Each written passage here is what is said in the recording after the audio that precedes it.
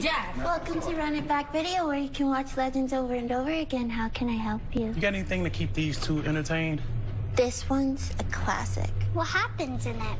Not so long ago, in a galaxy not very far away, Swoopes was the first ever space explorer to find a new planet called the WNBA. She joined their fighter squad, the Comets. And they gave her the ultimate gift in the galaxy her own shoe.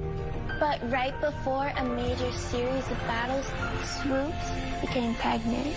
She became the first to give birth and returned to the planet WNBA. You're about to hear this crowd erupt as Sheryl Swoopes checks in.